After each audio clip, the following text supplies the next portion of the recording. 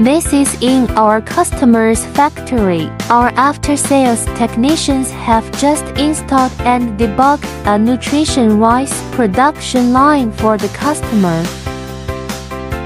The production line can produce golden rice, buckwheat rice, konjac rice and other nutritious rice.